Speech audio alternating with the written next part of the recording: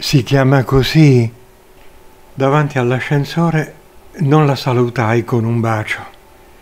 Sa sentire Rita. Può darsi che non mi faccia vivo per qualche mese. Restò zitta per qualche secondo, poi domandò perché. Può darsi anche che ti telefoni, magari appena arrivo in camera mia, ma non è sicuro. Mi voltai e feci qualche passo. Accidenti a te, la udii maledirmi. Rientrai a casa. Augusto, il mio ospite, stava giocando a poker con un amico. Salve gente. Mi risposero con grugniti appropriati. Come ti è andata stasera, Augusto? chiesi. Un bel passaggio e un punto. In più mi sono fatta finalmente Maria Rossi. Chi è? chiese il pietecantropo che giocava con Augusto.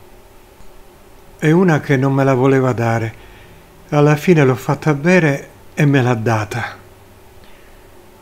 A quel punto della mia vita ho avuto come un'illuminazione, si chiama così.